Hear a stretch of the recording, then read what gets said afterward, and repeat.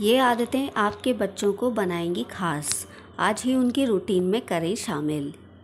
आप अपने बच्चों को बचपन में ही कुछ अच्छी आदतें डालते हैं तो वे आदतें उनके साथ ज़िंदगी भर साथ रहती हैं। इसलिए आप अपने बच्चों में बचपन में ही कुछ अच्छी आदतें डाल दें। इन आदतों से उनका स्वास्थ्य हेल्दी रहेगा। इसके साथ साथ वे अच्छे से ग्रो भी कर पाएँगे और उनका दिमाग तेज होगा।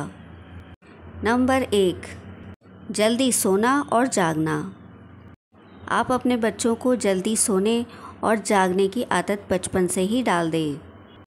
ऐसा करने पर उनकी सेहत अच्छी रहेगी। इसके साथ ही वे अपना सभी काम समय पर कर पाएँगे।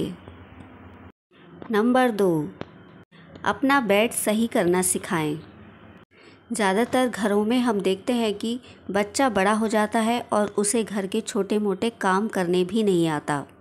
इसलिए आप अपने बच्चों से घर के कुछ काम करा सकते हैं, जैसे रोज़ उठकर अपना बेड सही करना या घर आए किसी बड़े को पानी लाकर देना।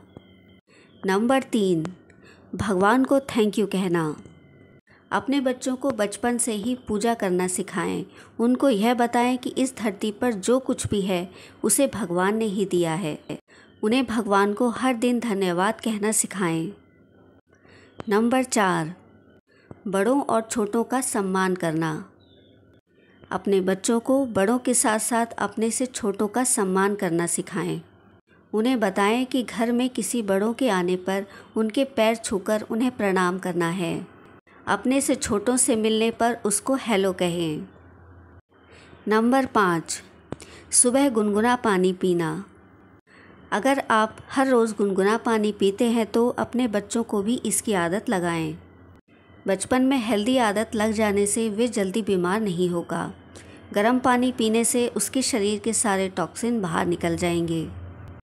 नंबर छः बच्चों को बाहर खेलने भेजें। आजकल के बच्चे अपना ज़्यादातर समय मोबाइल पर बिताते हैं, जो उनके मेंटल हेल्थ के लिए सही नहीं है। इसके साथ ही इससे उनकी आँखें कमज़ोर हो सकती हैं। बेहतर होगा कि आप अपने बच्चों को बाहर खेलने भेजें।